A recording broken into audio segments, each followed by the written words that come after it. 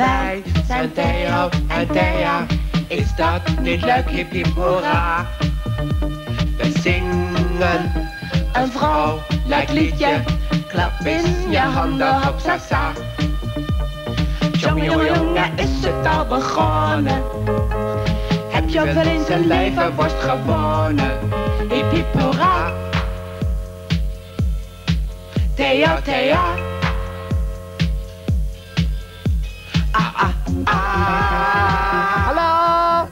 Hallo, daar zijn we weer. Ja, die vraag je natuurlijk af. Wie waar zijn? Dat gaan we niet bekendmaken. Doe maar tegen. Hallo, ik ben Thea. Hallo, ik ben Thea. En dit is weer de. Waar gaat het eigenlijk over? Waar gaat het eigenlijk over, Taas? Dat moet er zijn. Hou dat toch eens mee. Oh, Dat moet er zijn Thea. raden. Leer dat nou eens een keertje. En om het jullie wat gemakkelijker te maken, geeft Thea je alvast een aanwijzing. Ja, als onderwerp heeft te maken met wat Theo dus altijd bij mij doet. Dat hij me aanraakt en dat ik daar geen zin in heb. Ja, of andersom. Komt Ja, ook wel eens voor. Dat komt ook wel Het eens heeft ermee voor. te maken met dat je gezond wordt Ja. Door iemand of aangeraakt en dat je daar helemaal geen behoefte in hebt. Ja, schat, hallo. Gooi dit, dit is zoet. Wat wil dit Hou op, dat is ongewenst. Hou op. Let op, we gaan nu beginnen. Doei.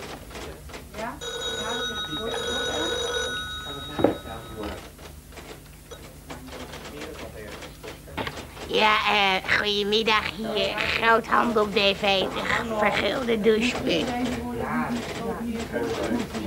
Annelies, momentje, ik zal even voor je kijken. Annelies. Annelies! ATV klaar.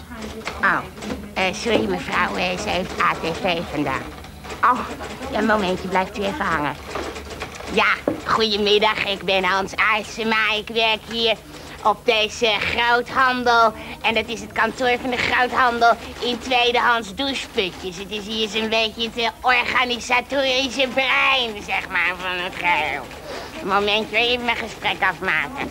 Eh, ja, ja, nee, die, die is er dus niet. Dus eh, ik zou het morgen nog maar even proberen. Ja, ja, goedemiddag. Ja, daar, daar.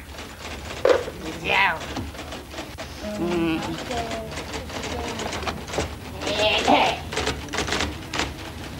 Daar, ik eh, ben eh, Bea Hofman. Ik werk hier ook in eh, dit florerende bedrijf. En ik bekleed een eh, administratieve functie.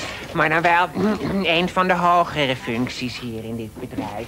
Ja, en ik eh, word geassisteerd door mijn ex-buurvrouwtje. Maar dat is helemaal niet waar. Je bent misschien wel hoger in lengte, maar niet qua functie. Maar ik maak dit even af. Dan breng ik even een bakje koffie naar meneer de baas. Meneer de baas wil niet gestoord worden door jou. Meneer de baas wordt niet gestoord. En jij bent gestoord. Ik denk er even over na.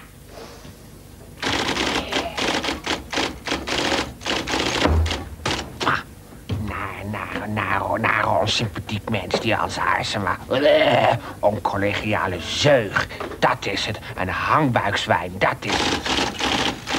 Zo aan de buitenkant, zo aan de buitenkant eh, allemaal oh la la en gezellig tegen collega, collegaatjes hier. Maar eigenlijk binnenin is het een harteloze, koude, bevro hartbevro diep gevroren vrouw. Eigenlijk zou ik een beetje medelijden met haar moeten hebben. Vinden jullie niet? Ah, wat? Wat is er gebeurd? Je hebt helemaal een rode kop in die periode. Nee, hij, hij is ongewenst geweest. Ongewenst? Ja. Wie? Meneer de baas, ik kom binnen. Ja, Hè? Ik zo'n professioneel koffiebrenghoofd. ja. Ik zet zo dat blad neer. En hij grijpt me ongewenst van achteren. Shocking. Ja, verschrikkelijk. Maar ja, ze hebben toch wel vaak, hè, die hoger geplaatste heren... dat ze zich dan toch aan mij vergrijpen. Nou, om je de waarheid te zeggen, heb ik ook zo'n ervaringen met meneer de baas. Oh ja? Nou, daar kan ik me daar helemaal niks bij voorstellen. Ja, toch is het zo. Als ik eh, dan eh, binnenkom, eh, dan kan toch, gaan toch die ogen van meneer de baas gaan vreemd rollen. Ah ja, meid, weet je hoe dat komt? Dat is waarschijnlijk omdat die contactlenzen van hem een beetje in de knoop raken... omdat jij zo vreemd groot bent voor een Nee, vrouw. dan zeg ik meneer de baas. Meneer de baas, ik weet dat ik begeer- een begeerlijke vrouw ben. Maar kijken, dat doen we met de handjes en niet met de ogen. Maar toch komen die grijpgrage vingers dan eh, op mij af. Hè? Dat begrijp je natuurlijk wel. Levendige fantasie heeft ze. Hey, eens Volgens mij bluft ze. Wat is dit? Dit is de... Oh, maar het is de. Sargentine. Kom maar, dat breng ik wel even na. Ben jij vergeten? Dat breng ik wel even naar meneer de baas. Ga jij dat eh, dossier Verhulst maar even aftypen? Dat neemt ze toch rare grote stappen voor een vrouw. Ik vind het charmant. Goed heavens, wat hoor ik daar? Wat gebeurt daar? Het lijkt wel alsof er een kip geslacht wordt. Nee!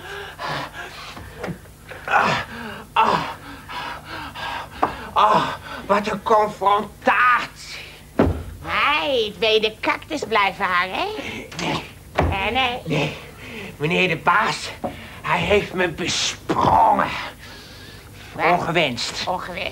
Ja. Dacht hij dat jij van de PLO was en eh, dat jij eh, hem kwam kidnappen of zoiets? Nee, Ja, hij viel ja. op me. Hè? Hij viel op me. Ja. Ik kom zo Geweest. binnen, ik klop aan. Ik kom gewoon binnen Ja. met een representatief vakkundig hoofd. Ik loop op af en ik zeg gewoon... eh, meneer de baas, Ja. hier zijn de zoetjes. Toen zegt meneer de baas... Mevrouw Hofman... De manier waarop u het woord de zoetjes uitspreekt... wint mij op. Zou u dat nog een keer willen vertellen? Nou ja, je begrijpt, ik ben de kwaadste niet. Dus ik loop richting dat grote oor van meneer de baas. Pak hem vast Ja. en ik zeg... Meneer de baas, de zoetjes. Ah! Nee! En toen zijn zeker die trommelvliezen van hem geknapt. Nee, hij begon heel vreemd snel te ademen. Oh ja. Ja, Hij. Hij begon te hijgen. Hij begon te hijgen. En toen, en toen, toen, toen greep hij me... Oh, nou, absoluut ongewenst greep hij me. waar greep je je dan Hier ongewenst? greep Doe hij zo. Hij stond op Ah. en hij greep me zo. Oh, en ik, ik, ik, ik werd naar het Ah, bureau ah, toegedrukt. ja. En hij kwam Ja, over me heen ja, hangen. Zo ja. en hij zei, oh mevrouw Hofman, uw charme, uw gratie wint me op. Zeg maar eens wat hij zei. Oh, mevrouw Hofman. Ben ik even meneer de baas. Ja. U zijn me, uw gratie wint me op. Ik Ah. zei al, meneer de baas, Nee. niet hier en nu. Misschien komt er iemand binnen. Maar ja, hij was niet te houden. Ah. Oh, mevrouw Hofman, laat mij zoenen overal. Ah. Ah. Ah. Nee. Eh, Had ik me daar bijna aan je vergeten, meid. Nee, meneer, Ja. meneer, de, meneer, de, het is meneer de baas. Het is de schuld van meneer de baas. Als Aarsema, collegaatjes, dit kan zo niet langer. Ah. We moeten de, we moeten de consumentenvrouw bellen. Hij, hij, hij vergrijpt zich aan ons. Ja. We moeten een actiegroep oprichten. Administratieve krachten laten zich niet meer Eerst grijpen. even, eerst even polshoogte nemen. nog. Dus, eh, we moeten, we moeten de, de Nederlandse Huisvrouwenstichting raad... Waar, waar ga jij naartoe, als Aarsema? Ik ga even polshoogte nemen. Ben je gek geworden? Gek geworden? Ja, gek van verlangen zul je bedoelen.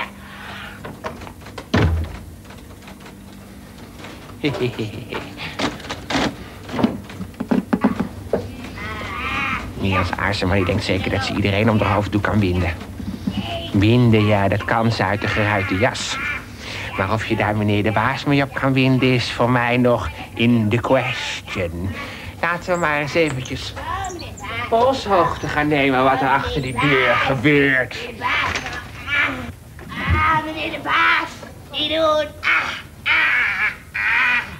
ah, ah, ah, ah, Zit er voor ik zo in de steel met die Ans Aarsema. ah, ah. Oh, meid. Het was verschrikkelijk. Wat, wat, is, wat is er gebeurd? Hij grijpt me ongewenst, meid. Oh? Ik kom, ik kom binnen. Ik kom binnen met mijn blad. Ik zet het neer. Er is helemaal niemand. Oh, Ik denk, nee. En ineens voel ik onder de tafel aan mijn been een ongewenste hand. En ik kijk onder die tafel. En die ligt daar. Daar ligt meneer de baas.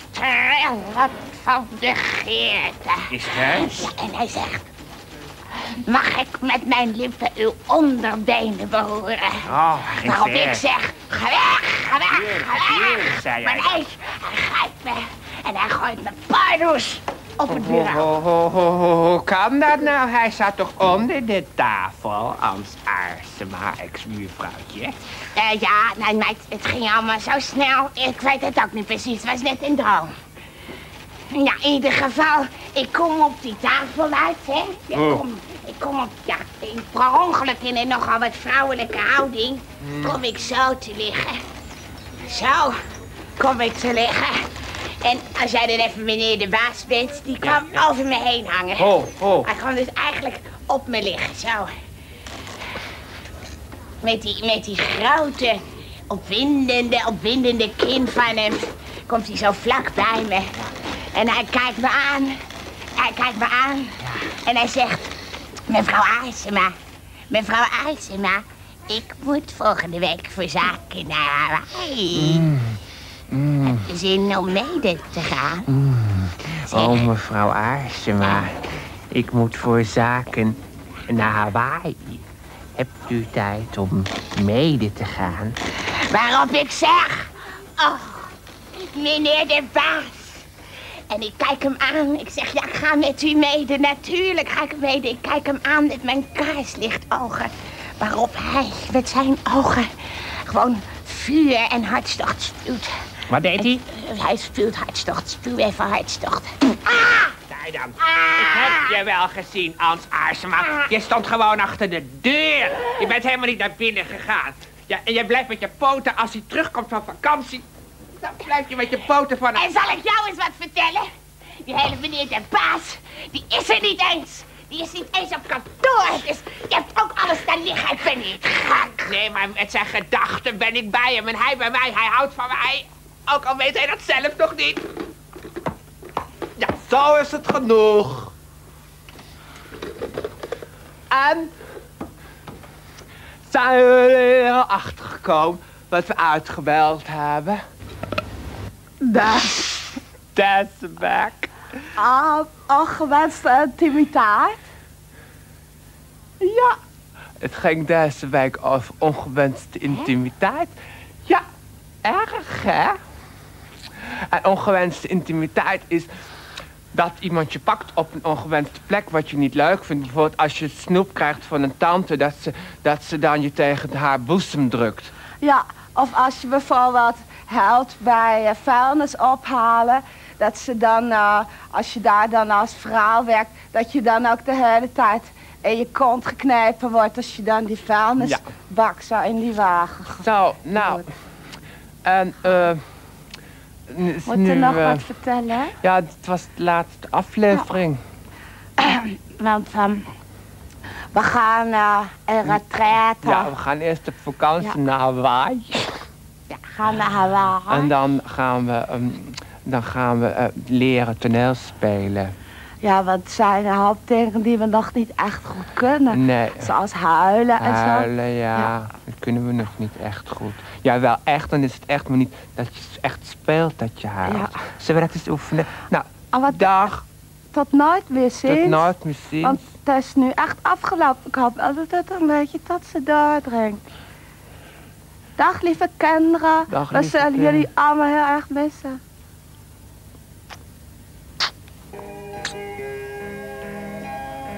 Dag. Dan gaan we huilen oefenen, thuis. Echt helemaal een tap gelopen in de tijd. Ik ook. Wat doen we